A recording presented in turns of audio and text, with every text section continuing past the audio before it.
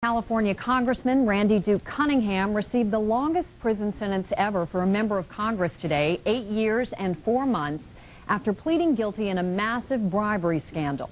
Republican Cunningham accepted nearly $2.5 million from defense contractors and others in exchange for steering government contracts their way. Cunningham, who said he lost 90 pounds since the scandal broke last year, choked up as he addressed the judge, saying, quote, no man has ever been more sorry. In the hurricane zone today, a group of